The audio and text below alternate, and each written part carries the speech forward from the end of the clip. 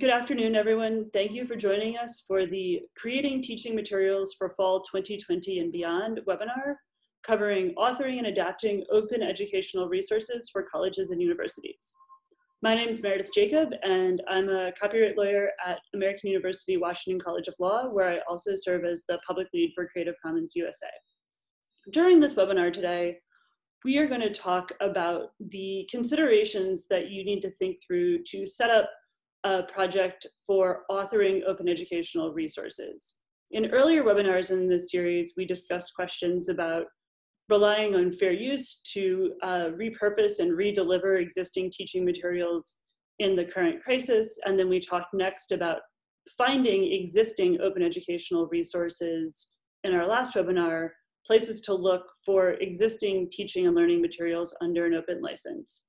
And in this webinar, we're gonna cover how to think through creating your own open educational resources to use in your teaching. On the next slide, I'm just going to provide a brief overview of what we mean by open educational resources. So almost all teaching and learning resources, written materials, illustrations are protected by copyright law. And open educational resources are those that are put out under an open copyright license that gives the public the ability to edit, reuse, and redistribute those conditioned on only whatever is required in the license. In this case, attribution as a basic requirement to say where you got the materials from. So these open copyright licenses allow diverse projects across universities to contribute to a pool of resources that teachers and students can use without having to pay to reuse the materials. Um, and so that's the background sort of as we go through and talk about how to author these materials. On the next slide, I want to introduce um, our next speaker. To the next slide, please. Yep. Um, who is going to talk through the process of thinking through this sort of spectrum of adopting OER, of finding something that exists out there that will suit your purposes to creating it. Often I think people jump into the creating deep end, um, and Anita is going to talk through how different um, projects might require creation, but that you should think through ways to use existing OER in the scope of your project. Anita, thanks so much for joining us. Sure. Um, good afternoon. My name is Anita Walz. I'm the Assistant Director of Open Education and Scholarly Communication Librarian at Virginia Tech in Blacksburg, Virginia. I've been a librarian for 18 years and I've been involved with open education and open educational resources in higher ed since 2013. I want to talk to you about how course materials about course materials in the context of decisions that you make for your classes, specifically how some instructors have moved from adopt to adapt to create. I'll also provide some examples of how instructors have decided to move from adopting, adapting, and creating their, their own works. Uh, on the next, next slide, please. As instructors in higher education, you make critical decisions about how to support student learning. Next slide these decisions relate to planning or redesigning courses. They relate to your environment, the course learning outcomes, whether or not you have control over them or if someone uh, else hands them to you. Um, they relate to your role as the instructor. Are you a sage on the stage or a guide on the side? They relate to what kinds of things you'll ask students to do listening, talking, doing, being, practicing, and they relate to tools that support student learning, content, uh, tools for sharing, tools for communication. They also relate to scheduling. What happens when? What happens before class, in class, after class, or is everything asynchronous as so many of you are experiencing in this time? So instructors have very specific questions that they often come to uh, OER to resolve. How can I get my students to read? Course materials are too expensive. I teach this topic differently than everyone else. Where's the content for my topic? How do I make my course materials more interactive? All of these questions are very pedagogical. What we're going to talk a lot about today is content, but I want to situate that in the context of pedagogy. So there are things that we can control, namely our methods and our content, um, and there are things that we can't control. Next slide, please. Um, so I'd like you as uh, a reflective exercise just to think about what do you like about your current course materials? What do you use? Um, what came with your, your commercial text if you use one? Um, what do you really need to be able to teach? Um, and then are there things that you can reasonably build? Can you build other things with help? Um, can you ask students to build with you? Um, we don't have time to stop and talk through all of these questions, um, but these are, are um, central to to understanding what the potential applications could be for open course material in your course. If you have been on other webinars in the series, you will know that there are many kinds of course material artifacts that you could adopt. Next slide. Uh, these include videos, simulations, articles, books, software, the list goes on and on and on. But what if you cannot find what you need when you are trying to adopt? What if there's no comprehensive resource for your class? Um, you have three basic options. Next slide. You can curate, you can adapt, or you could create original content. Uh, next slide. Uh, curation um, includes pulling bits of content openly licensed, perhaps from an open textbook, uh, or used under a fair use analysis, um, into your course. This could include diagrams, videos, text, other documents. Uh, there may be a, a far wider range of source materials available to you than you could imagine. This is a good um, this is a good area when you cannot find something to get in touch with a librarian or an instructional designer. So we already know that you do this, that you find all kinds of things on the web that are used in your course. Um, so let's move on to adapt. Next slide, please. Uh, sorry, next, uh, we're still in Curate. sorry, can you go back one, please? Thank you. Um, this is an example of a library funded project that was completed in 2020 by um, uh, Jessica Taylor and um, Emily Stewart called Voices of Virginia. Uh, this is a collection of over 60 audio clips from archives and special collections all around Virginia. You don't have to do this, but if you said, hey, those, those clips fit what I want my students to listen to, those contextual discussions of um, context, of the history of uh, behind those clips, those fit exactly what I need them to be. Um, Amanda and, and I will talk more about how to, uh, how to customize and localize for your use. Um, but this is a valuable example to say, let's pull together things that already exist into one place um, in order to be able to use them. Okay, next slide. Uh, in 2016, I worked with a faculty member who said, students aren't reading the book. The book is going to be $220 very soon. Uh, so what can I do? We went through, and this was a difficult process. We edited the whole book. I don't recommend doing that as a first project, um, but we did um, customize to fit the, the needs of our course. We slimmed the book down by about 50% uh, and um, added a lot of content that was very specific to um, the curriculum for this course. Next. Can I ask you to jump in and ask you a question about that project, Anita? Sorry, yeah. So you were saying there that the um, the faculty member had been using a commercial textbook. Mm-hmm. That was too expensive, so he switched to an open textbook, and then you rewrote the open textbook.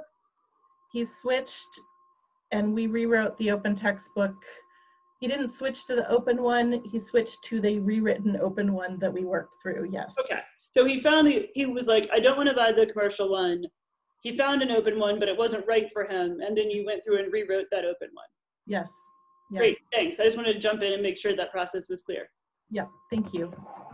Okay, uh, so this book is available. It's freely online. It has been very popular. Uh, many, many, uh, over half a million downloads in the last four years.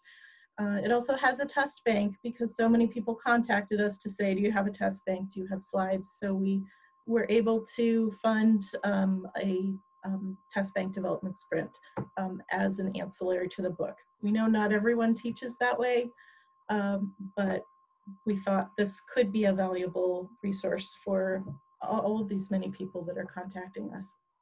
Okay, so next slide, please. Um, creating.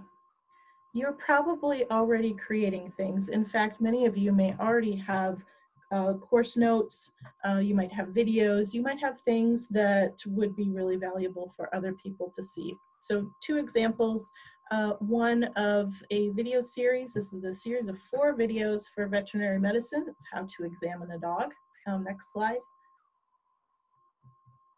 Uh, and in the same project, the curriculum changed um, significantly in veterinary medicine where they were euthanizing fewer animals and it's really hard to see through the skin of a dog. So we created a virtual reality dog uh, so that students can see what's inside of the dog. Uh, when the dog is upright, um, they can navigate to see the orientation of all the all of the organs within the dog. Uh, and it's been a, a really interesting um, experience for for us as um, people who are funding this and watching this happen to, to see how it's been, um, yeah, to see how it's been, um, how it has developed. Okay, next slide. Uh, and finally, um, we occasionally have faculty who say, you know, there is no reason that I have that I can't share the course materials that I already have. Um, this professor, uh, Steve Ellingson from Virginia Tech, created um, his original um, series, two volumes of the electromagnetics um, textbooks written in LaTeX. Um, they also include a slide deck uh, for each book, problem sets and solutions for each book, and the LaTeX source files. Um, so I hope these give you some examples of um, small and large things that you could do. Uh, you don't have to do everything. Um, you could do a chapter at a time as you teach your course and see how it goes. Um, these did not happen overnight, um, but they happened with a very intentional plan to, to create. Um, so I'm going to turn this back over to Meredith. Great, Anita, if you can stay on for one question, one or two questions. Um, sure. So I think one of the things this really illustrates is that, as you've said here, not only is this an open textbook that people can use for free, but there's a couple of really important things. One is that they have um, the slide decks of figures and problems and solutions. So some of these creation projects have focused on including ancillary materials like that as well. Yes. And I yeah. think that's a big part of adoption, right? Of having those available for people. They can they can pick them up, they can use them. But also, as you said in your business example, we have here the editable source files so that, you know, if you have somebody who's like, but I really like the examples or the teaching approach in this other book, they could go through and resequence and align this to their preferences. Do you see that sort of use? We see that use uh, with regard to fundamentals of business. You'll see a little bit later on that there's a Canadian edition of the book oh, cool. um, that was created about a year ago. We do know that people are requesting the LaTeX source files. I've had several people indicate that they're adopting the book, that they're adapting it. There are three different ways to teach this course, history first, transmission lines first, or waves first, and every professor seems to have a different perspective. So this book specifically is written in LaTeX in a modular um, framing so that each of the sections can be moved around. Um, we don't have any documented examples uh, for adaptation of adaptation of um, the electromagnetics book, but we do have a few, um, there are some examples of fundamentals of business. There's some translations. There are people who are using parts, um, people who are using a couple chapters or adding their own work um, in their own course management system we make the Pressbooks files available for that as well. And a big feature of that book is that the interactive features that we added. Great, thank you. And for those of you who are watching, one of the things I'd also like to um, encourage is if you've found a book you like, but um, you are looking for slide decks for supplementary to materials, to go ahead and reach out to the author and the other people involved in the publishing, librarians at the school it was published at, because often some of those resources exist, but might not be formally published along with the book. So if you're thinking through finding something to adapt or adopt, I would also include that in your checklist of things to do. Can I add one other thing? Please. There are a number of, of um, adopter portals available in places like OER Commons. These books have one. Uh, the Fundamentals of Business book has one. This is a place where, where adopters can meet each other, where they can also share content that they have created for their courses. Um, That's great. That's an important part, I think, of making this effective. Thanks. Thank you. Um, so up next, we're going to hear um, from Karen Bjork. And so um, on the next slide, please, we'll see she's going to talk about how, you know, once you've gone through um, Anita's sort of evaluation of, is there something out there that I can adopt as it is? Is there something out there that I can take and adapt and sort of resequence or change to better fit my teaching approach? Or maybe I've already done those two searches and I've decided, no, I really want to sit down and write something from scratch. Or, as is often possible, you've already written your own materials that you've used in informal teaching as replacement curriculum, and you want to go through the steps of taking sort of notes and written material you already have and making it into a more formal, more packaged thing. Um, to sort of think through those steps of how you might do that publishing, how you might find help on your campus, and then how also projects at different um, campuses can connect through networks like the Open Textbook Network we have uh, Karen Bjork. Karen, thanks so much for joining us. Will you tell us a little bit about yourself and about what you've been working on? Yeah, thank you so much for having me. Um, so I'm head of digital uh, initiatives and scholarly publishing at Portland State University Library in Portland, Oregon. Um, I manage the institutional repository PDX Scholar, and I lead the university's open access textbook publishing initiative, PDX Open. As the lead um, project person, I'm really invested in ensuring that all of our faculty authors have a positive experience and that they're able to successfully complete their open uh, textbooks. Since inception, uh, PDX Open has published 23 faculty authored open access textbooks. All of them are available um, under Creative Commons license, so they um, are being adopted and adapted as well as utilized in classrooms within uh, Portland State as well as across the world. And our books have been downloaded over 260,000 times. Um, so for us, it's a, a, really, it's been a really exciting project, um, but it's also led us to learn a lot about what does it mean to, uh, for the creation process for the author, how do you support authors, but then also how do you actually build a publishing program when you yourself have very little um, experience in publishing. Um, so I'm gonna talk to you briefly about sort of how to build a project, um, give an overview of sort of uh, the how we got started, things to consider, um, as well as then sort of the services that are out there that Meredith had mentioned. Uh, next slide, please. So building a program is essentially like building a community. Uh, you do not want to do this alone. If there's one thing that you take away from my short presentation is don't do this alone. There are a lot of people out there that are creating open access textbooks, um, a lot of uh, people are thinking about publishing programs. Um, so it's not, you know, it, this is really a community. And this is why I think these webinars are so awesome is because you can really see the community and, and that it's growing. So you do want to build a team. Um, even as an author, you want to build a team to help support you. So you want to start small.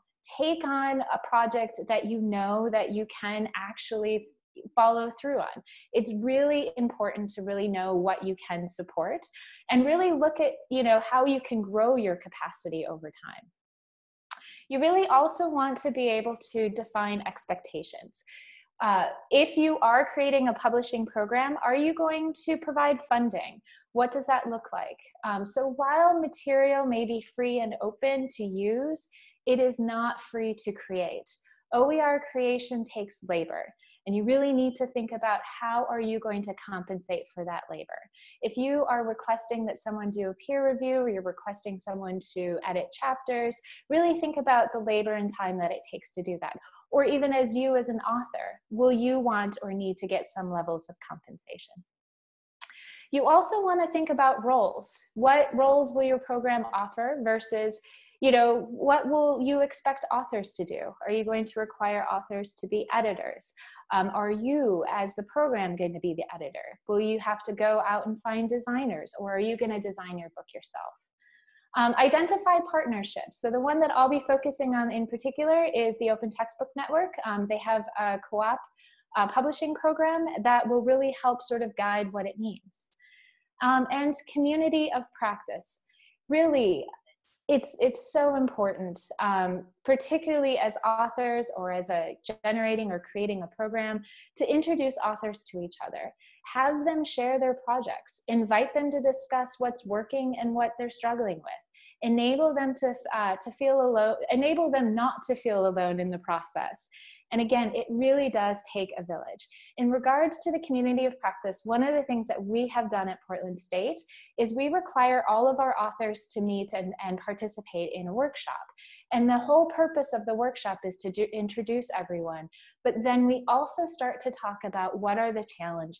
What are what has the author so far in their creation process what are the roadblocks that they've hit and it really allows each of the authors to get to know each other to get to know their projects and then to be able to provide that level of support that um, they they they need and a lot of our authors end up connecting with each other throughout their projects and really you know saying hey i i i know that you were working on this I hear, I remember you ran into this particular roadblock. Can you help me through this? Because I'm hitting this roadblock as well.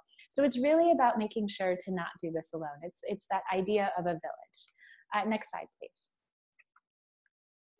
So what do I mean by open textbooks? So when I talk about open textbooks, I'm really talking about a structured publication uh, with consistent pedagogical elements. So it really needs to have openers, an overview, key terms, case studies, closers, sort of reflective questions, quizzes, and summaries. We're not talking about monographs. What we are talking about are completed portable files. And when we talk about portable files, we're really talking about being able to make sure that you can have your open access textbook be a Word document, a PDF. Um, it could be in LaTeX. Uh, it can be in HTML. So whichever file and means um, that would allow others to be able to adopt and adapt your work, as well as openly licensed to allow for editing. Um, to allow others to edit, but to also allow you to edit. One of the things to really think about and consider is if you are creating a program at your university, what is your university's copyright policy? If you're giving and providing funding to the authors, who owns the copyright? So it's something to really think about and consider when you start to move forward. Uh, next slide, please. So what do I mean by publishing? So publishing, it takes time, as Anita said. None of the none of the projects which she focused on, you know, happened right away, and it's the same with all of our projects. I have been working with PDX Open since 2012.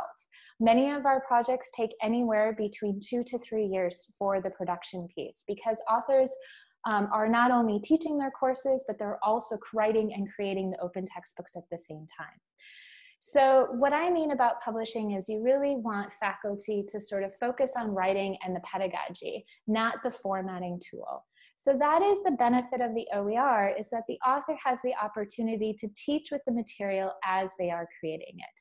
So my program at Portland State, we require that faculty authors teach and gather feedback from their students before they publish.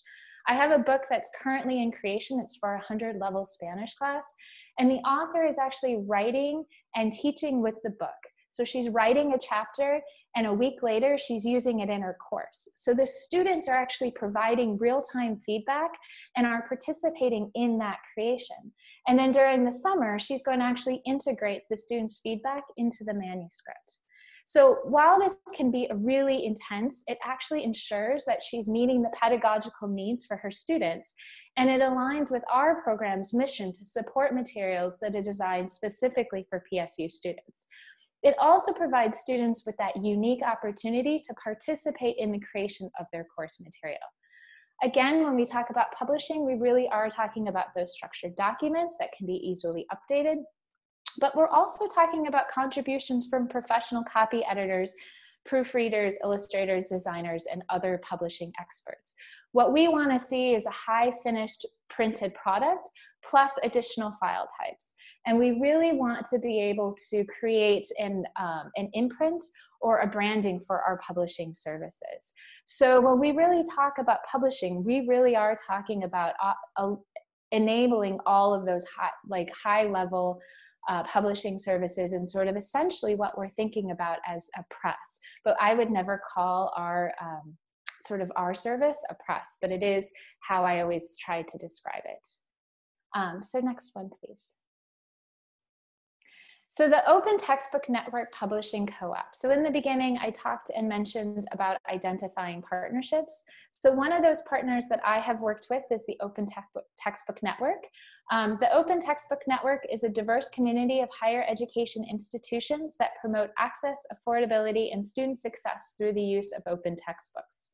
The Open Textbook Network manages the open publishing um, open te manages the open textbook library and they run that publishing co-op. So if you are looking for open access textbooks i always recommend um, first starting at that open textbook library. They actually go around and aggregate uh, open access textbooks from different universities and it's essentially allowing a one-stop shop they also have reviews of open textbooks um, that are done by uh, faculty across universities so you can really get a feel for um, what the book is like. Uh, the so the goal of the publishing co-op is that it is really grounded in professional development and community. So it is a public, it is a flexible publishing model. And so in my, my past slide, I talked about sort of the copy editing, the design, the layout, and being able to offer those publishing services. Before the Open Textbook Network Publishing Co-op existed, I was not able to offer those services. And the co-op is allowing me to be able to do that. It is providing that community of practice.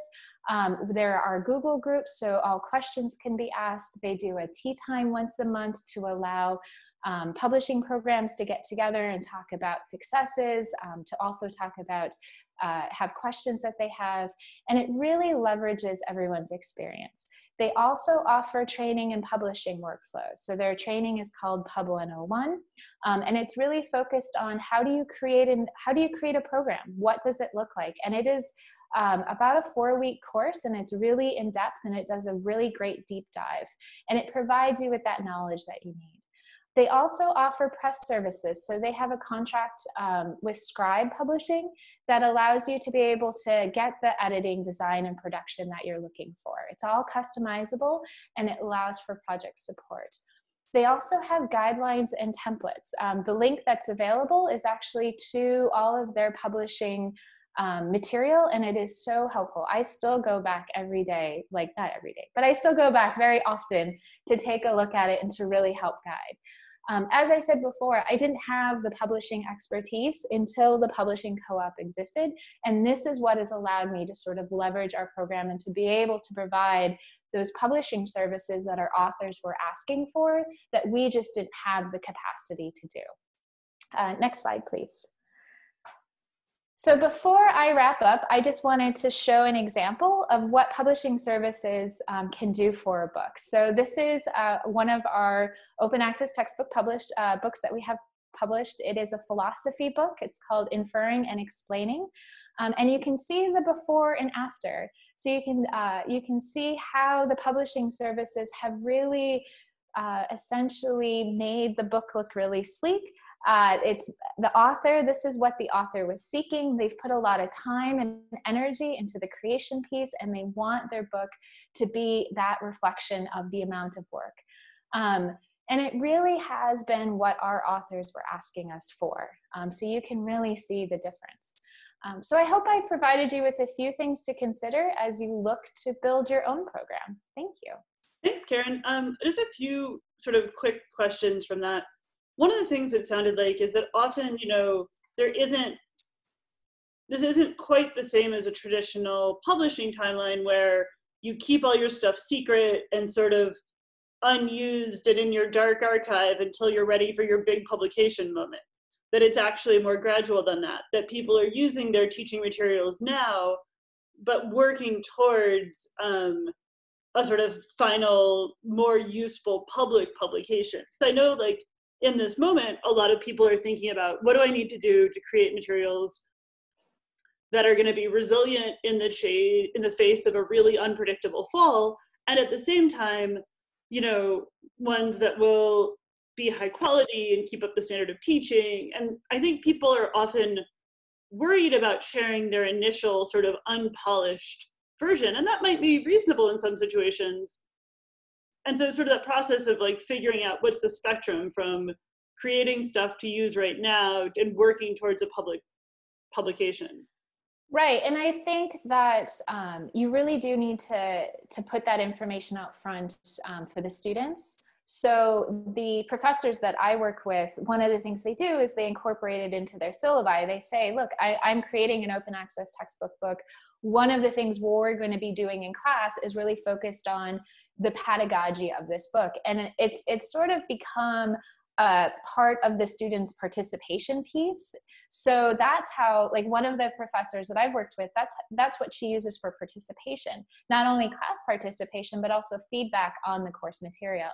And the feedback that we have gotten from the students in particular is they don't care as much if the material is less polished. What they're really focused on and what they really like is the idea that the faculty is creating material specifically designed for them and that course.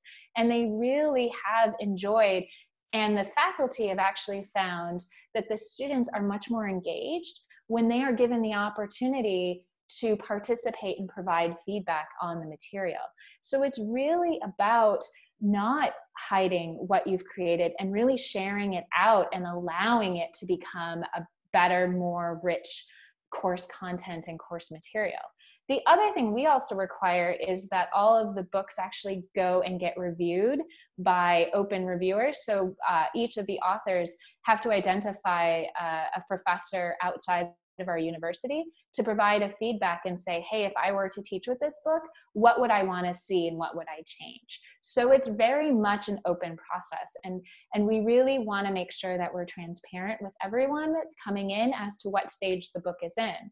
But I feel like it provides a, a higher level of, of impact and student engagement than what you would see even if the materials are not clean and they you know they're not as polished as what you would like Great. I thank you so much. I think, you know, particularly in this moment when a lot of traditional ways for doing student assessment and student engagement might be disruptive because you're not in person, thinking right. ways to do that by engaging with the text could be really powerful. Yeah, and we've seen a number of case studies of how this has been really successful. Thanks so much.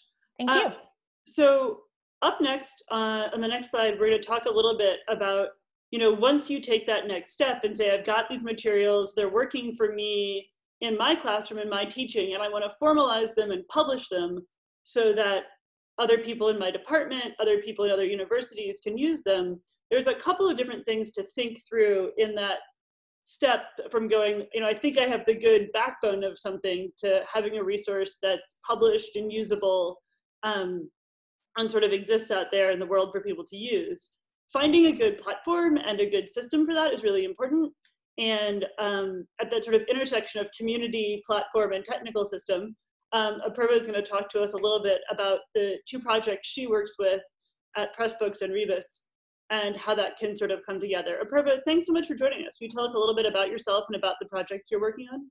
Sure, thank you, Meredith, and thank you, Karen. So I'll just mention that Karen has talked briefly about building capacity through that publishing program, but I know that some of you might be at an earlier stage with your institution or at your community college. Um, you might not have a program established yet, and it might take you a while to get up to speed, and you might need resources right in the current moment. If you go to the next slide, please. So I'm Apurva Ashok. I work with the Rebus community, which is a free global community of creators working on collaborative publishing projects. Um, I used to work at Pressbooks, which is an open source uh, book formatting tool, and I'll go into that in a little more detail. Um, on the Rebus side, I've actually managed um, and supported the publication of about 35 to 40 uh, different projects all around the world. Um, and what we've also done is written about our experience with these projects and documented our publishing process in the form of a guide, um, the Rebus Guide to Publishing Open Textbooks so far. So of course, if you want to nerd out about publishing, you can do a deep dive into this process. Um, but for today's session, I actually want to dive into how we can condense it.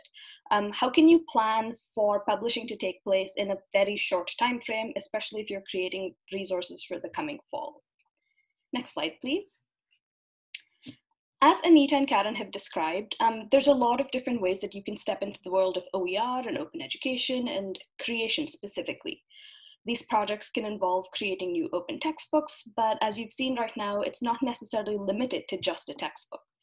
There's a range of possibilities with OER. Um, you can work on replacing your existing commercial textbook. You can work on putting together ancillary learning materials, creating question banks, assignments, reading lists, and more.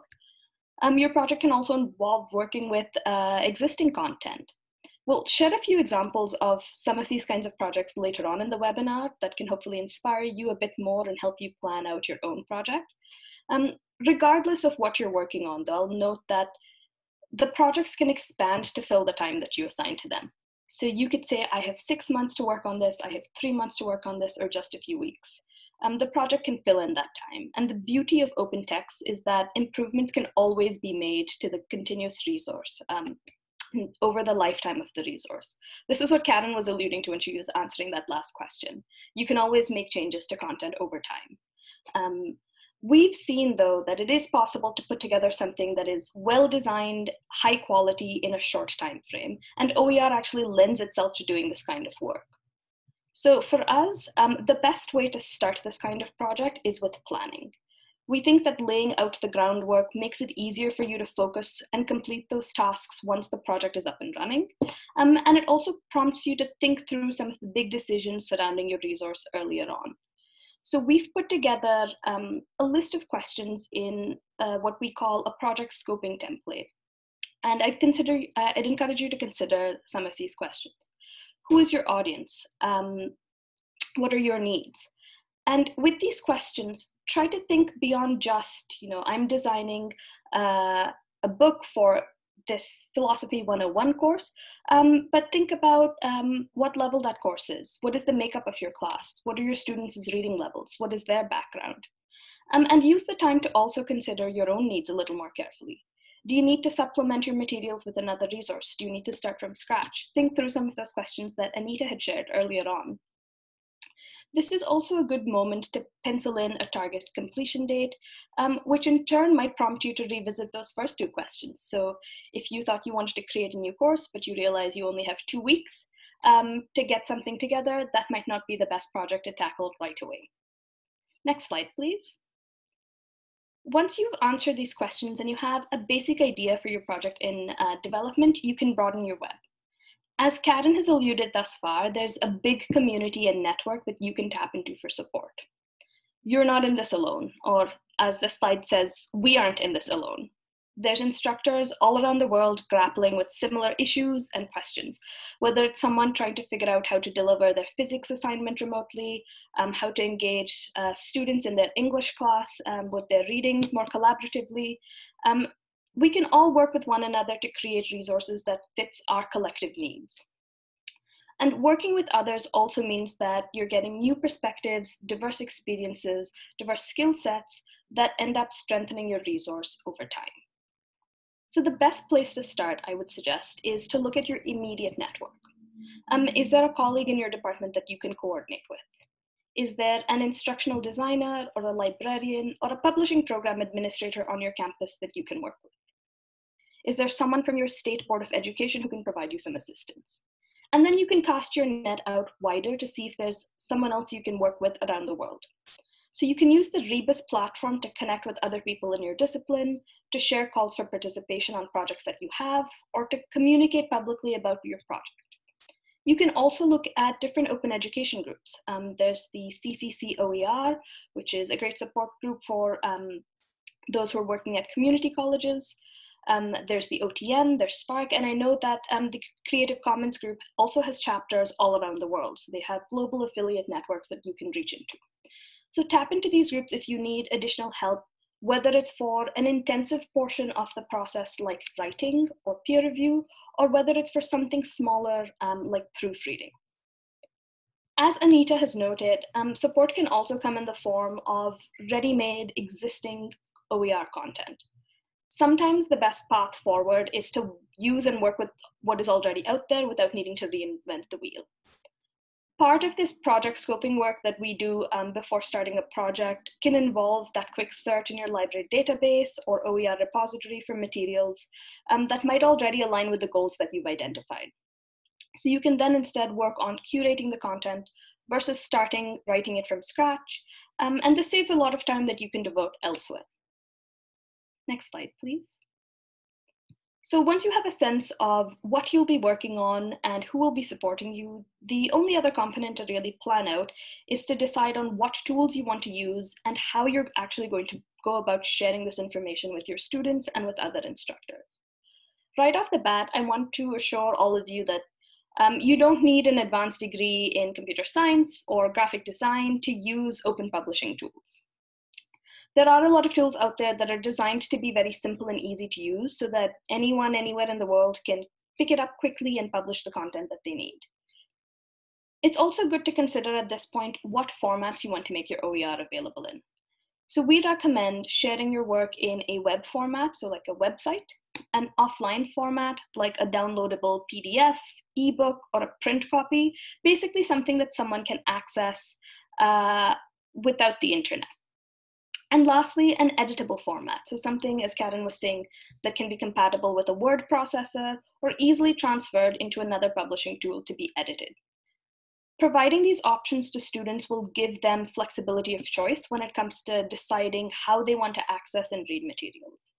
Uh, I'll say for students who might not have stable or reliable internet access right now, or for many of them who might have family members in their household vying for use of that one computer that they have, um, providing more options can alleviate some of the stress that they're facing. And these um, multi-formats will also strengthen the open license that you've assigned to the resource. So other instructors who are coming across your resource can easily use one of these formats to incorporate it into their own materials if they choose to do so. For us, we found that Pressbooks is the easiest tool um, with which to format and to share OER. It's an open source book formatting software that creates books, not just in these three formats, but many more. Um, and it also lets you add things like um, formulae, images, multimedia elements, quizzes, videos, assessments, um, and also even annotation tools to help students read um, content collaboratively. Right now, uh, Pressbooks is actually giving all educators access to create one free book via the Open and Online initiative. So if you wanted to trial out the tool and see if um, it can be good for you to use for your current project, um, I can put the details to um, the initiative in the chat. So once you've selected your tool, you're all set to begin the work of writing or curating. And as I mentioned, um, there's a lot more to this process. So if you did want to go back and think about uh, what else is involved in publishing, you can look at our comprehensive guide. Um, you can also look at um, the Rebus tools as a pathway to connect with other members and to go about creating your project. You can share information about the project as it's being worked on or once it's been announced.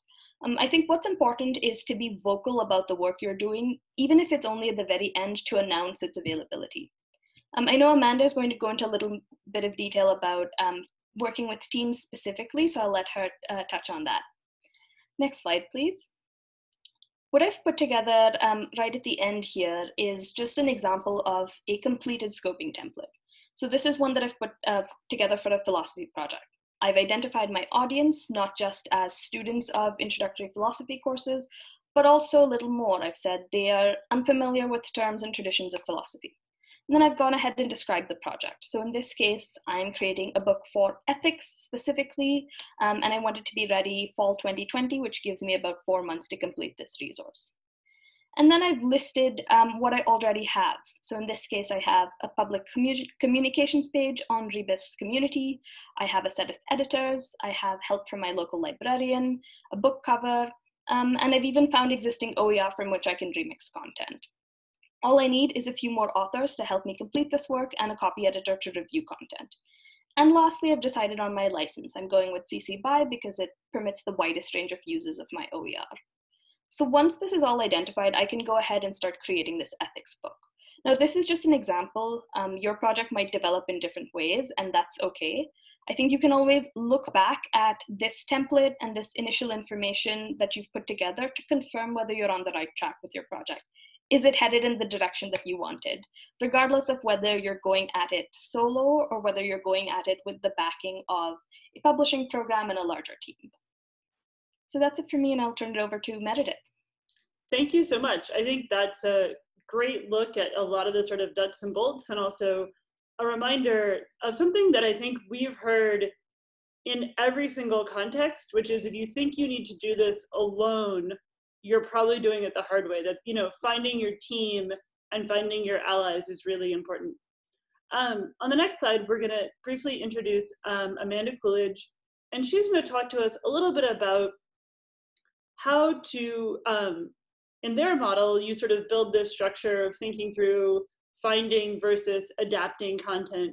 But then also, I think really importantly, how to build a team, not just for those first few months or weeks in a book's lifespan where you create the content and review it, and but also how to build a team that does ongoing review and update and maintenance of this book going forward so that it can be improved and so that more people can use it and benefit.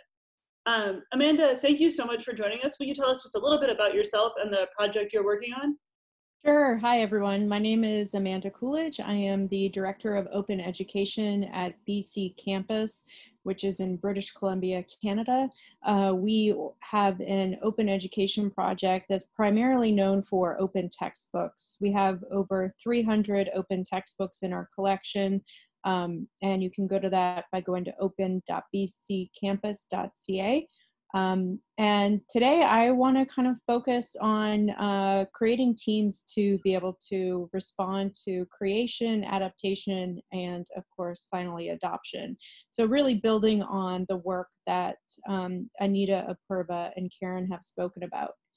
Next slide.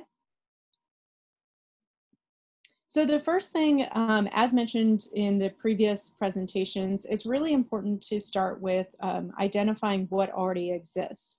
And the reason for this is because there's many times that you don't need to actually start from scratch by creating um, from the beginning. So this is an example of an inventory we've been doing as we've been looking towards our associate science degree. Um, we're looking at creating a zero textbook cost program for that. And so what we're trying to do is identify which um, open textbooks or OER align with the courses. And this is one thing to do is to do subject, identify the OER titles, and then look at the links. Next slide.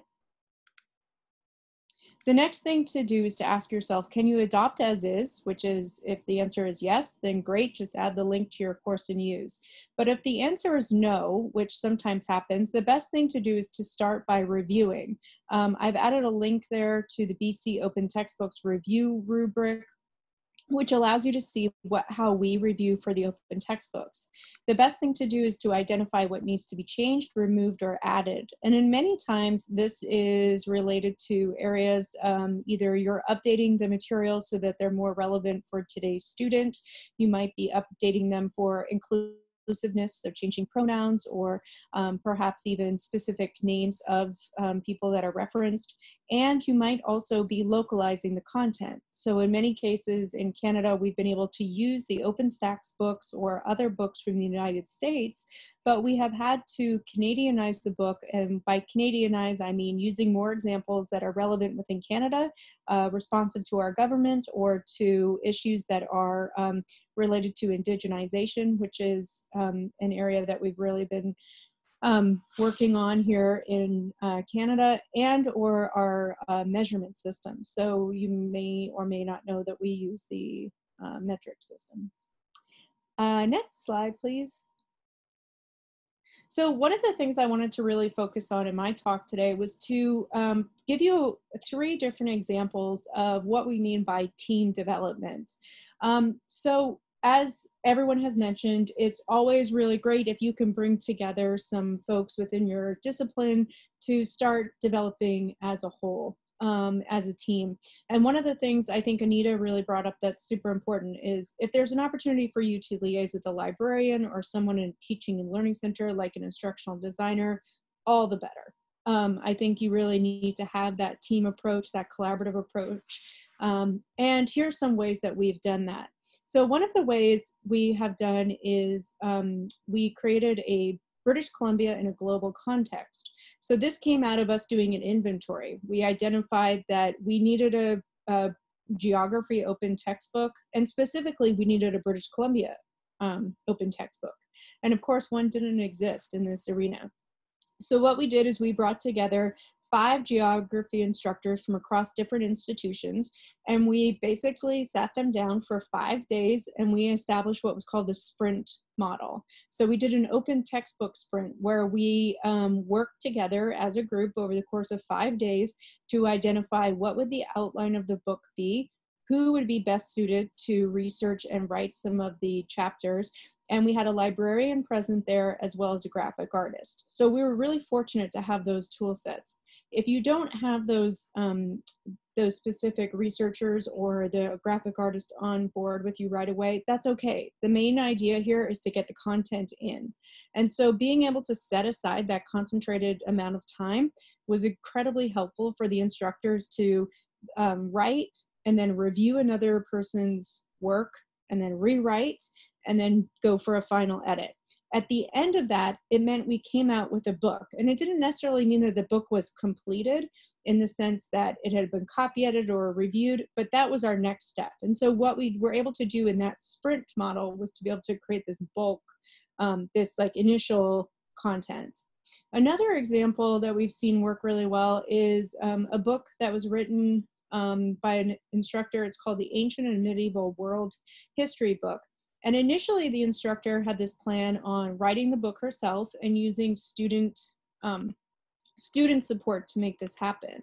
And what we realized, or what she soon realized, is that she really needed to take a modularized approach to maximize the ability of a broad range of contributors to add to the work. So she really needed the contributors to be to really identify a thematic area. They were to provide three to five primary documents, two to three visual artifacts, and a brief introduction to the key issues related to the theme. And um, what this helped with was, again, this really helped this idea of dividing and conquering. She realized that she actually didn't have the expertise that would be needed to really go into the detail of the primary documentation she required, as well as the visual artifacts.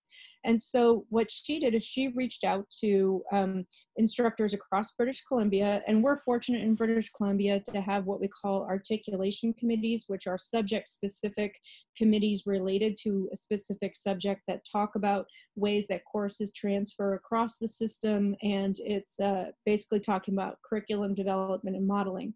So if you're able to, there's it's always great to be able to put out a note to your um, association or to your subject specific um, committees to see if anybody would be willing and interested in partaking. One of the things when you're modularizing an open textbook, for example, is it makes it a little bit easier for people to contribute because you're offering them a smaller chunk of the work. The last example really speaks to the sustainability of this work, and it's something Meredith alluded to when she was doing the introduction. This book, Introduction to Tourism and Hospitality, was a book that we put a call out at BC Campus. We asked instructors instructors across BC to uh, put in a call to um, to write an open textbook related to tourism for British Columbia. And one of the um, instructors came forward and said, our group of tourism instructors across the province would like to put in a joint proposal whereby we are the uh, authors of this book as well as the caretakers of this book. And what they mean by that is they wrote this book about four years ago. Since the four years, they have been adopting this book quite widely across all of their institutions and within all of their courses. However, in the last year, they went as they were going through and they met as a group, they realized that a couple of the organizations actually no longer exist in the book. Further, this book was created four years ago, and they um, the interest in in really um, changing pronouns changing examples to be much more culturally sensitive and indigenizing some of the work hadn't been as relevant to these instructors. So um, they're actually working this week to be able to do those reviews and those updates together. And then in the next um, month, they're actually going to be working on this book to create H5P interactivity, which will allow for formative assessment within the book. And the reason this is really great is because this is exactly that community development model that Open really um, encourages and perpetuates. So this idea that one group would take ownership of a book, continue this work, and then it, the more you continue to revise and review, the less you have to do at the end of this entire project. Um, or sorry, the less you have to do when it comes to um, having to do a huge overhaul in, let's say, seven to 10 years. So it's really great that they've been able to do that. One last, next slide. The final thing I just wanted to showcase is you may be interested in taking a look at our BC Campus um, self-publishing guide. And the reason I bring this to your attention is because it really has been a powerful reference, not just for groups, but for also individuals, individuals individuals who are interested in writing or self-publishing an open textbook. And I think you'll find that the step-by-step procedure that's offered in that guide would be really helpful in terms of starting your project, working through your project, identifying collaborators, and then finally getting it ready for publication. So thank you. Thank you so much. Um, I think that the, you know, the whole part of the model is important, but particularly thinking through your authoring communities, your authoring teams, the people who came together to do that, not just being responsible for the first steps, but also for thinking through is this book still serving its purpose? Mm-hmm. What can we do to make it more useful? What can we do to keep it relevant and get people to adopt it? So, yeah. You know, thinking through those. Are those teams primarily in the same institution or across institutions? No, that's what's really cool about these teams is they're cross institution um, and what i love about that is that means that we can see multiple adoptions across multiple institutions. Um, and that's been a real positive for us. There are sometimes when we really only work with just one institution to create something and then they have a team within that that subsection but it's been the the ones that we've seen the most powerful response to have been those cross institutional ones and in those situations, is there funding for that, or are these primarily projects that are supported? Yeah. yeah, that's a great question. So, again, we're fortunate in British Columbia because our Ministry of Advanced Education, um, they are our primary funder, and in April of 2019 gave us $3 million to work on uh, open education projects. And so we are able to provide funding for this work, and even more so now with the um, with pan- COVID happening and sort of this switch pivot to online, there's been much more much more of an awareness from our ministry as well as the institutions and their administrative work is much more of an awareness that that when folks are doing this work they can no longer just do it off the side of their desks but that we do need to provide funding so that their work is seen appreciated and they're receiving something in return as a result of it. Um, but yes it's primarily funded Thank you. Um, and so we're going to have a little bit of time at the end of the program to talk through questions. And I would just say that um, Anita and Apurva and Karen, if you can keep some time then to talk about different funding models, um, either microgrants or course releases mm-hmm. that you've seen, that would be very useful then. Thanks so much, Amanda. You're welcome. Um, one more thing I would just say is as we, you know, everyone's thinking about the budgetary piece of this, you know, we have seen evidence that we discussed in earlier webinars about how um, OER can help with retention and completion. And so when your institution is facing um, the financial challenges that most institutions will change, face in the fall, small upfront investments in OER that increase student retention and completion can actually be a cost saving measure for institutions. Um, so we're going to pivot a little bit and talk about um, creating open educational resources from a sort of how to think through the writing itself, the content itself. Um, and it's important to remember, I think this was really well emphasized in a broad context in our, from our first four speakers, but creating OER is not a closed book exam, right? All of those speakers talked through finding what is there, finding your team, and um, I'm going to turn to Will Cross my colleague from NC State to talk a little bit about, from a copyright standpoint, how to understand all those different things out there that you'll need to draw from when you create OER. Thanks so much for joining us, Will. Great, thank you, Meredith. So yeah, I'm, I'm Will from NC State. Uh, as Meredith said, I'm a lawyer and also a librarian, so I'm a lot of fun at parties. Um, and I think my charge here is to talk a little bit about the way copyright can be a real source of sort of material for the OER work that you do. And that, that might sound a little surprising to folks that copyright that we think of as a limitation is actually a really powerful source for the creative work that we do. Um, but as, as we say on the next slide, um, on where we lay a very quick foundational sort of basics of copyright. Copyright is actually really about balance. And I'm going to say this in like 45 seconds or something, but if you want to know more about it, you can go to our first webinar, which dug, actually our first couple of webinars dug pretty deep on these copyright issues. Um, so copyright, because it's about balance, really supports the creation of open educational resources in a few different ways. So to start with the foundational piece, copyright, as you probably know, is balanced in that there are some ways that it's very broad and some ways that it's very narrow or limited. Um, so copyright is very broad, for example, in that it's pretty easy to get copyright in something. If, as long as something is original, creative, and fixed in a medium where other people can see it, it's protected by copyright. Um, we usually talk about that in terms of literary, artistic, or musical works, but it can be pretty much anything.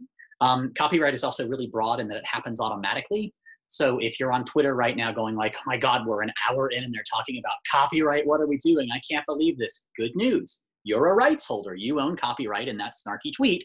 Um, and you're gonna own copyright for a long, long time because copyright lasts life plus 70 for an individual and um, 95 for an institution or similar so so that's a in one sense that's a broad aspect of copyright it lasts for a long time it's also though narrow in the sense that copyright does expire and that's a feature not a bug right the reason that we have copyright is to offer a short-term incentive um, whether or not you believe life plus 70 is short term or not we can discuss but a short-term incentive to get people to stock a robust public domain that's the real purpose of copyright that like lana del rey copyright is born to die so that's the broad stuff. It happens automatically. It covers a bunch of things.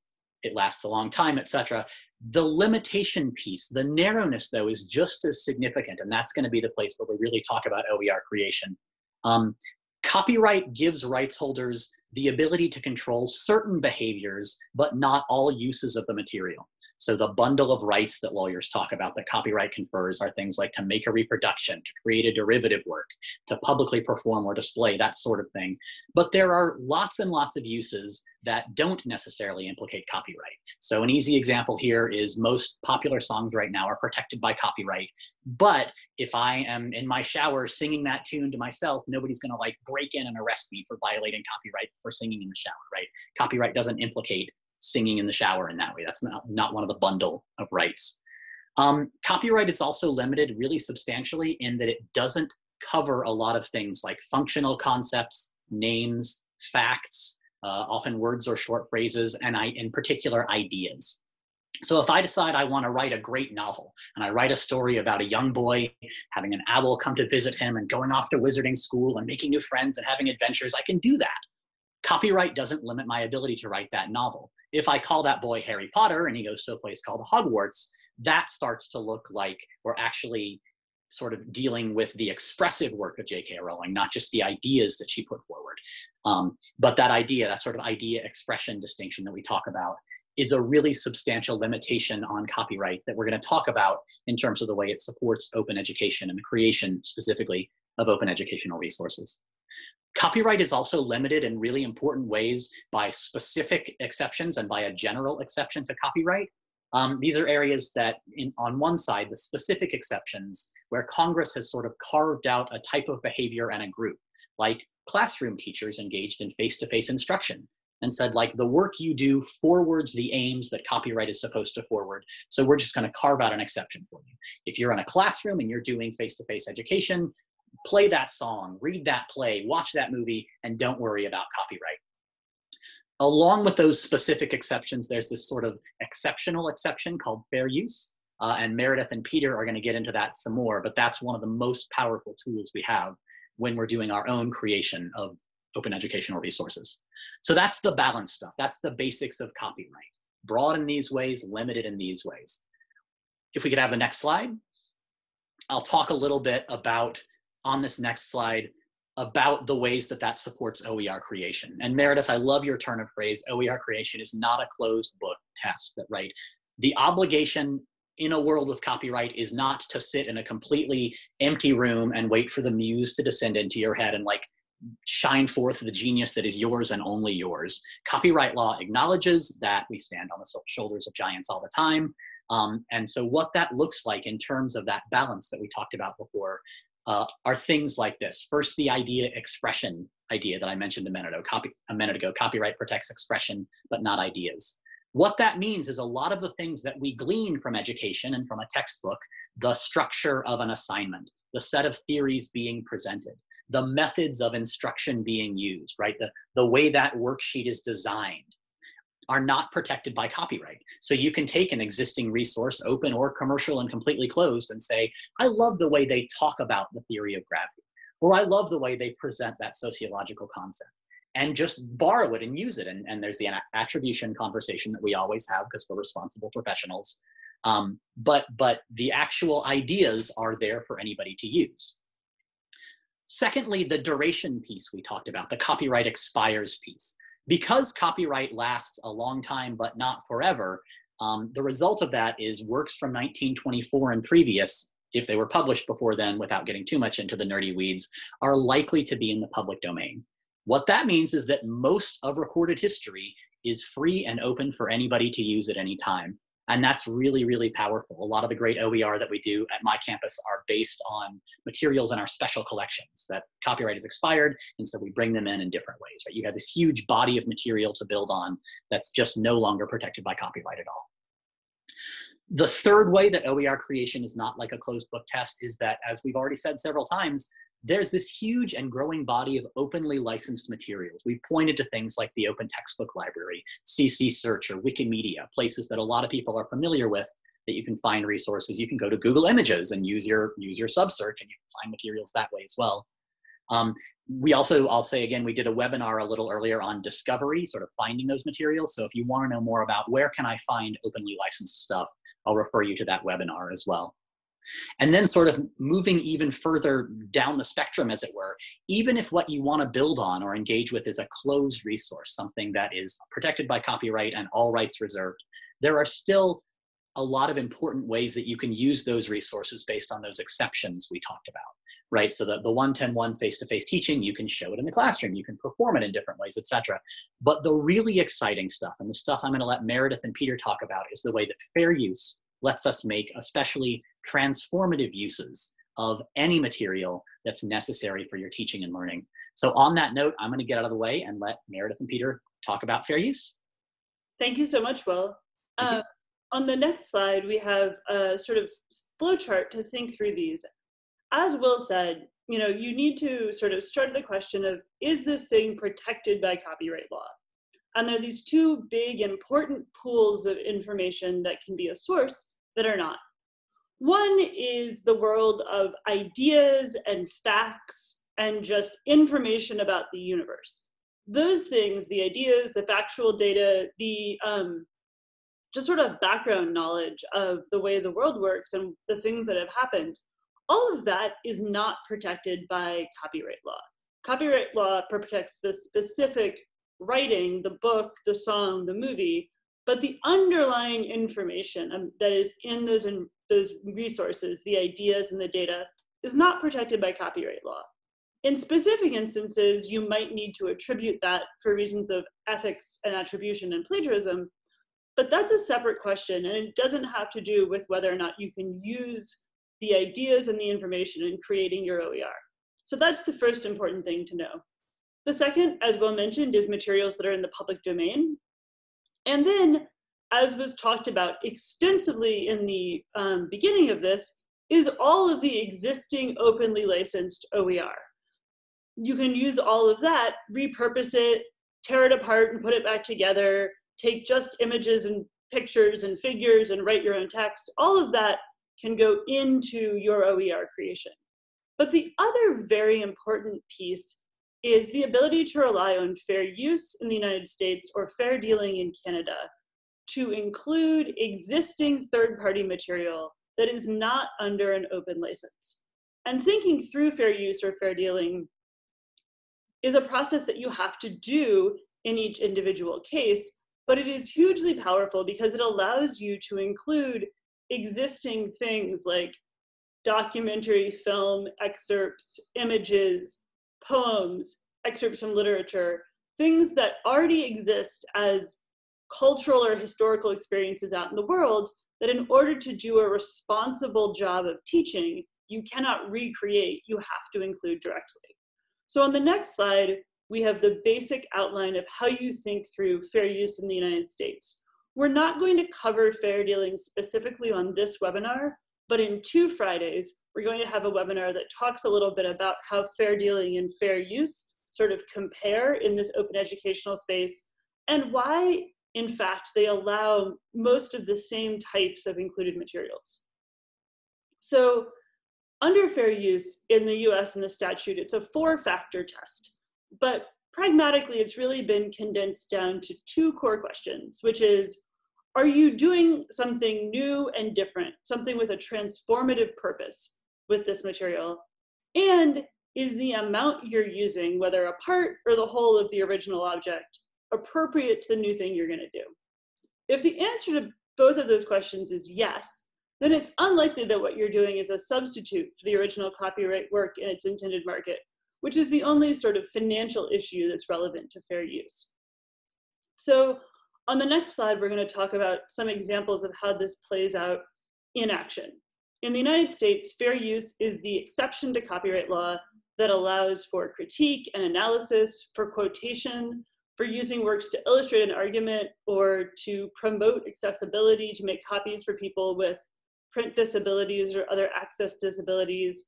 It also permits uh, glossing and translation and language learning, and taking works and critiquing them for media literacy.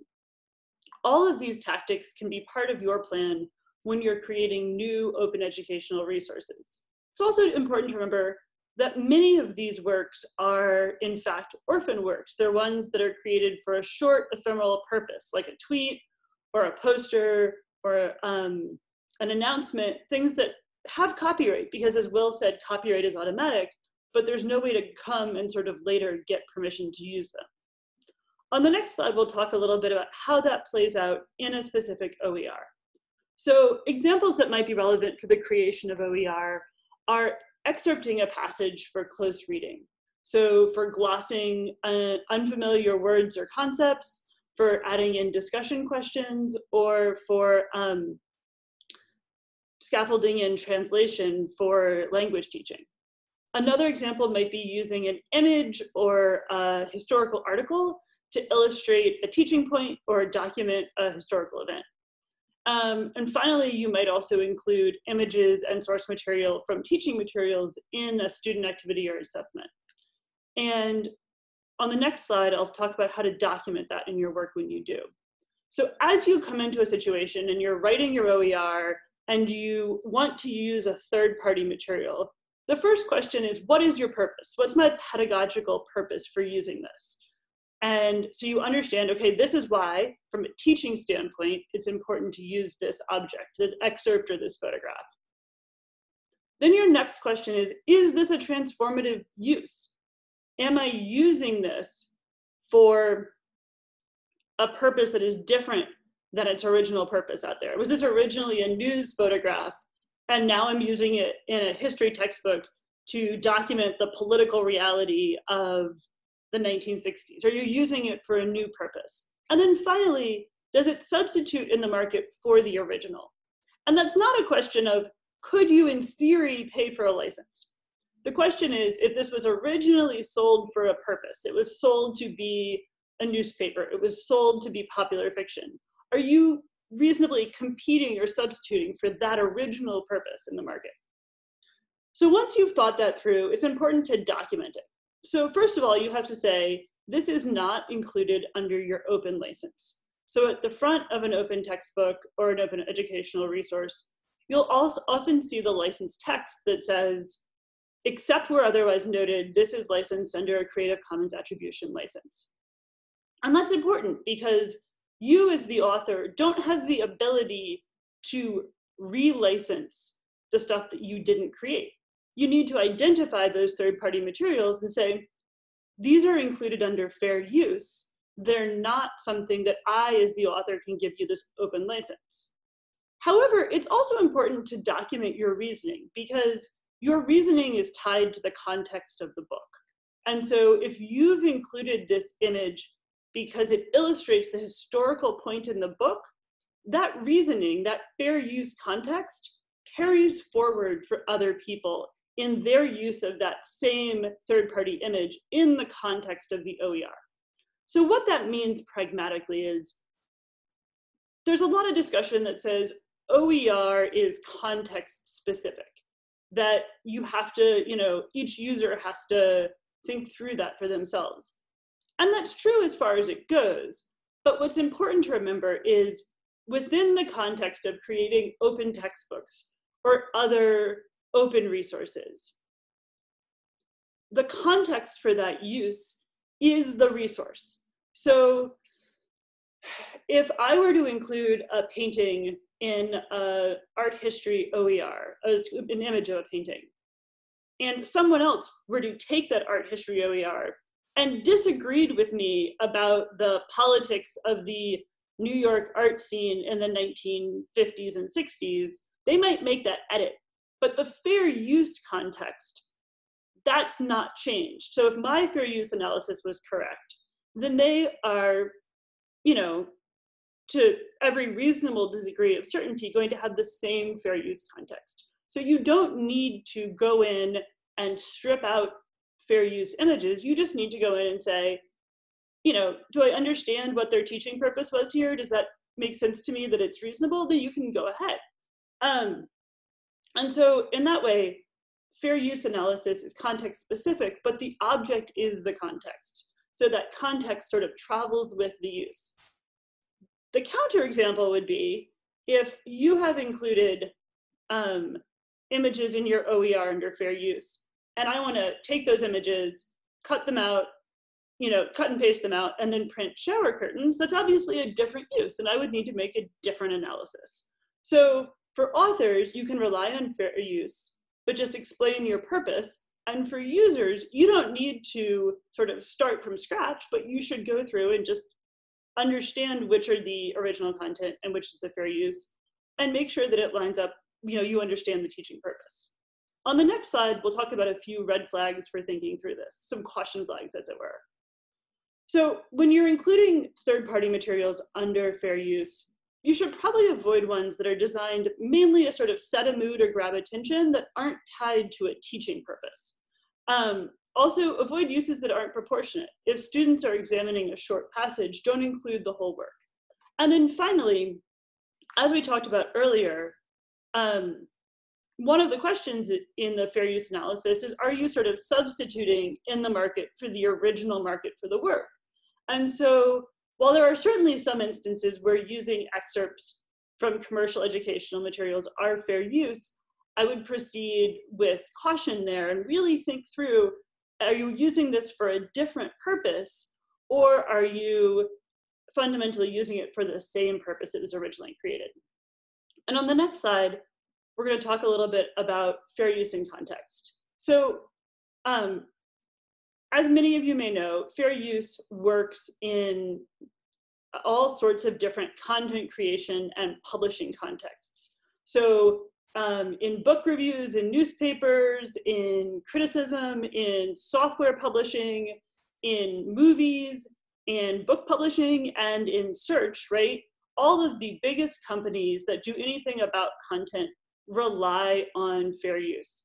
Fair use is also part of how many of the big educational testing organizations take passages to use. It's a core part of the way the information economy works, but often the sort of private reliance on fair use isn't matched. People don't talk about their reliance on fair use in public, so it's easy to think that fair use in the sort of industrial world is always this cut and you know hard cut and dried limit when in fact it's um, something that is a part of the balance that is intended in the copyright system. On the next slide, um, we'll see a little bit about that background. We sort of talk through this, that it's used throughout. Uh, next slide, please. Um, so the courts have been pretty clear here, especially in the last 25 years since 1994, that um, fair use is a core part of how parody and remix, appropriation, scholarship, technology, and many other disciplines engage with existing copyrighted work. Next slide. Um, and as we'll talk about a little bit later in this presentation, there are ways in which communities like the OER community can understand this through community consensus and best practices. And we're gonna be working on one of those, and we'll talk a little bit about it at the end of the presentation. Up next to talk about building your team, we have Will Cross. Can we have the next slide, please? So Will's going to briefly go over some ways to repurpose OER, which is covered some up front, and then talk about finding help at your library. Thank, welcome back, Will. Thanks. Happy to be back. So we I think we've said this pretty well already, but we just wanted to really emphasize an open educational resource is open. So that means you can adopt it for its explicit purpose, or it can be sort of recontextualized, localized, customized in a lot of different ways. You can take images from this textbook and use them in a different level of textbook or a different kind of textbook, etc. That's one of the really powerful things about an open license. And there's a lot of great material out there. Let's do jump to the next slide. And, and this is the slide where I say with my librarian hat on, I, I hope this slide is unnecessary. I, I, hope everybody watching knows librarians are awesome. Uh, they're deeply involved and invested in open education as a thing. And the skill set that a librarian is trained in and brings overlaps in really profound and fundamental ways with the work of open education. Certainly the discovery piece is, is probably obvious and immediately leaps to mind, but if you know a librarian, you know somebody who thinks a little bit about course design, about copyright, about advocacy, about accessibility, etc. So um, if you're a librarian, I'm telling you things you know already. If you're an instructor, um, know that your librarians are thinking about this stuff, are excited about this stuff, and are the best partners you can possibly identify. So on the next slide, um, we wanted to take a minute or two just to highlight what some of these projects might look like in practice. We've seen some great examples already, um, but we wanted to give each of the presenters a chance to, to say a little something else about sort of what this process look like, looks like or what these projects might look like. Uh, so I'll turn it over to Anita and Amanda to talk a little bit more about the localization customization piece, about assessment, and then um, sort of some, some final thoughts. Great. So, um, so the next slide, please. And Amanda, please jump in as you like. Uh, so Fundamentals of Business was actually adapted from another book, another open textbook in 2016. Uh, then last year, I believe, uh, eCampus Ontario held a, an adaptation sprint and customized the book to be a Canadian edition. As you may know, Canada has uh, has significantly different politics, uh, government, economy, uh, use of the letter U. um, so words like labor turn into L-A-B-O-U-R and um, uh, I'm told that this is the correct spelling, the, the Canadian spelling. Um, so this book um, that was created by um, eCampus Ontario is um, a very deep remix of the fundamental fundamentals of business that we created at Virginia Tech. So we're, we were really excited when this came out um, and I think it's a great example. Amanda, do you want to add anything about uh, the Can Canadianization? Sure. Yeah. So um, again, as mentioned, um, the spellings tend to be different, um, and also I think a lot of it ends up being kind of what are business cases or what are businesses that are um, much more localized or much more relevant within the the area that you're in. So, for example, for us, um, if we were to look at businesses that are generally much more British Columbia focused, we'd be looking at um, either uh, fishing, shipping, we'd be looking at tourism. Um, and so those kind of things where we could talk about use business case studies that were a little bit more relevant to the work that's happening directly in our city, cities.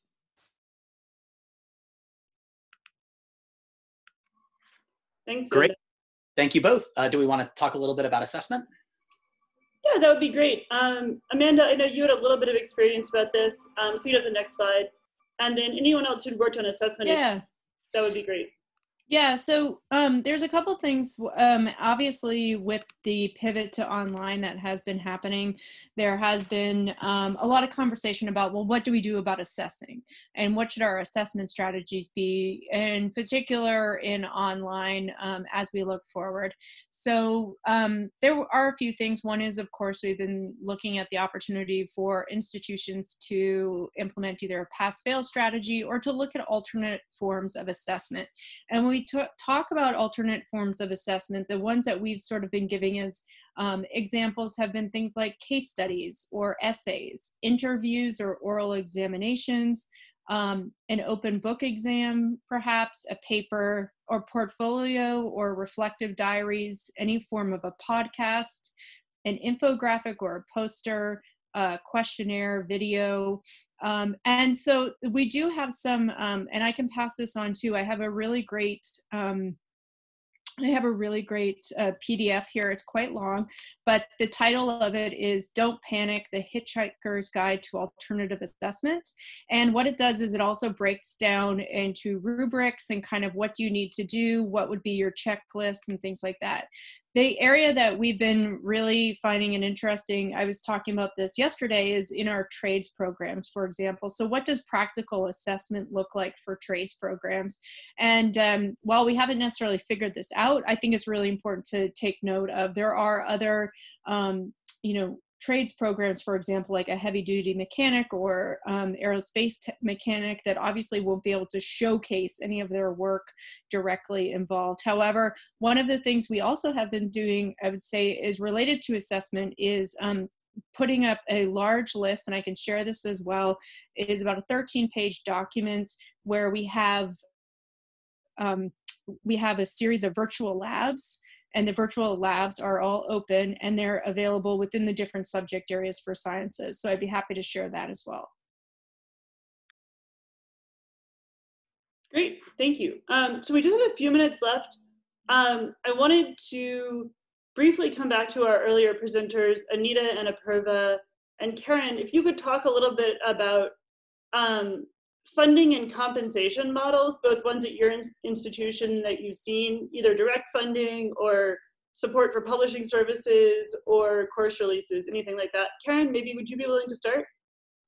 Sure, I'd be happy to. Um, so at Portland State, our funding model has been we've done a call for proposals, um, and we have decided beforehand how much funding um, each of the projects will receive all of our funding at Portland State is actually um, from our foundation, so it's all donor funding. We currently um, have been able to raise money through our um, alumni association as well as through outside donors. Um, and then we just have to follow university policy based on how we can uh, pay faculty for their labor. So for us, we pay all of our faculty in the summer. We unfortunately don't have enough money um, to be able to cover course buyout. Um, and then each of the faculty members actually creates their own budget. And that's part of the, my role as the program manager is to go through and verify that they're meeting their budgetary needs and that their budget is getting spent um, accurately and correctly. And then we also help faculty go and um, identify and find like reviewers, copy editors, designers, and that all gets that all comes out of their budget as well. So we spend a lot of time uh, focused on the budget, and we try to make sure that the faculty author isn't worrying about that. That instead, it's it's our job to worry. Thank you. Uh, would you like to speak to that? Sure. Um, I'll just mention Rebus is a charity, so we haven't actually been in the position of being able to give grants to our um, creators, but we've actually seen these come in many different forms. So, creation grants, like Karen was describing, or adoption grants, but also through professional development fellowships. So, it doesn't necessarily have to come through um, a, a, creation grant in particular. It can come through a fellowship from your state board of education. It can come from a fellowship from a larger organization um, that is investing in open education. So I would encourage folks to look outside the typical um, just your campus box for this kind of help. Thank you. Um, Anita, would you like to hop on for a second? Uh, we've had faculty that uh, obtain grants through a number of different sources, internal and external. We have some state level funds that are competitive uh, and um, had some people uh, be awarded those funds. Um, internally, the grants that we have are, uh, we have very difficult time paying faculty. Uh, that's really up to their department. So the funds that we transfer to their department are um, purposefully for project support. If the department decides we want to pay this person, that that does happen, but most often uh, departments, um, a lot of departments are anyway. The library does not is not able to directly pay people money in their pocket for this kind of work. So we have some constraints there. I do think it's really important to pay people because this is real work. Um, we have some people who've said, I don't need the money. Um, I've also said, please take the money because I need you to sign off on the, the terms of the agreement so that we know upfront how this is going to be licensed, who owns it, how it will be used, um, that it will be used, that it will be evaluated. And it's really a, an accountability check. Plus, it's very helpful because we have a lot of um, a lot of situations where we need to add alt text. Um, we need to write alternative text. We need to do something with the LaTeX to make sure that it's readable. And that's not free. It's not something that most faculty know how to do or have time to do. So we often um, encourage them to identify what are the things you don't have time to do, don't want to do, don't know how to do, or you want somebody else to do, and let's let's find a way for for you to spend money doing that sort of thing. Um, it could also go toward copy editors, toward graphic designers, um, other support people for the getting the work done. Great, uh, thank you so much. I wanted to invite um, my colleague uh, Peter Jaszi, a professor of law um, at American University, to talk a little bit about some of the work that we're going to do going forward um, with the OER community about sort of understanding and implementing fair use. Peter, thanks so much for joining us. Thank you so much, Meredith. Earlier in, in the program, in a somewhat different context, Karen said what are for me the magic words, which are community of practice, because something we've been doing at American University Law School over the really last 15 years is working with different communities of practice to try to help them understand how they can make use of and to articulate their own community standards for making use of the right of fair use that Meredith described to you so so well earlier.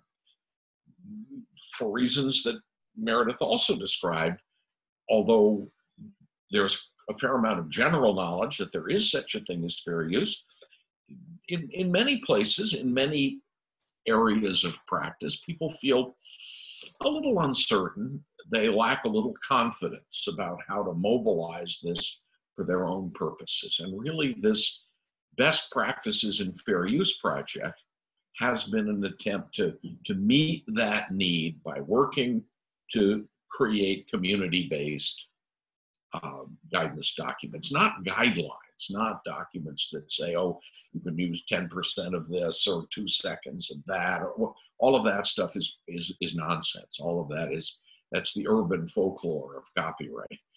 But to help communities work through the question of how you think about fair use, how you make robust and reliable fair use decisions, whatever your objectives may be. And of course, the objectives of a librarian are different from the objectives of a documentary filmmaker. And those two are different from the objectives of a working poet. Those are all communities of practice we've worked with before. So each needs its own localization, to borrow another good uh, OER catchphrase of this principle for its own activities.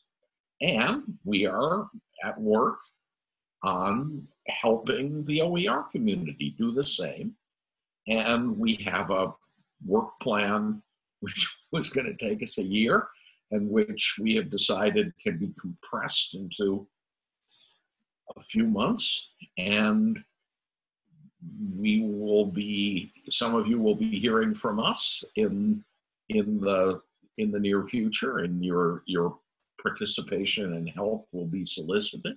And anyone in turn who is interested in or curious about the project can find out more i think at the website right meredith? Yes um, so that's a good a good transition. This website here auw.cl slash oer is the short link to both the information about this webinar series that's ongoing and also how to get involved in our best practices project. Um, Peter, do you have more? should I lead into our next? No, I think that's where I think that's that's good to go out go out on. Uh, this has been listening to this discussion. It's been enormously inspiring, and it it you know it fills me with with further conviction that we both should and can get this done. Great. Well, so in the short term, um, we have webinars for the next three weeks on Friday, not in this time slot, actually at um, noon East Coast, 9 a.m. Pacific. Um, the first one next week is taking a deep dive on issues of universal design and access for students with disabilities, um, focusing on what are the questions in the creation, implementation of OER that we need to think through to make sure that all students have equitable access to these new materials that we're creating and that we're not inadvertently um, excluding students with disabilities from the full range of learning opportunities. The week after that, as I said before, we're going to focus on thinking through a sort of comparison of fair use to fair dealing and understanding why, in fact, the differences between fair use and fair dealing don't pose a significant barrier to cross-border projects in OER because I think, you know, the projects at BCcampus are so strong and so tied into projects in the US that fostering that continued uh, cooperation is really important. And then finally, in a webinar that's not up on the website yet, but we'll send out information shortly on May 22nd, the third Friday, we're going to be talking about um, culturally responsive teaching, uh, equality and anti-racism, and thinking through how, though OER can be a tool for more representative and more just educational practices that we really need to think about who the authors of OER are and who the students that they think about in their creation are and the ways in which if we're not careful in structuring our OER projects that we can end up repeating or even exacerbating sort of existing inequality in our educational system. So those are the next three coming up. Um, universal design, then uh, US Canada, then um, equality and uh, diversity and justice in the educational system. So we hope you'll join us for those. I wanna um, thank my presenters very much. Um, and thank you all for taking an hour and 40 minutes out of your Friday. Have a great weekend and thank you so much for all of your hard work um, supporting students. Have a great weekend. Sorry about the sirens. Bye.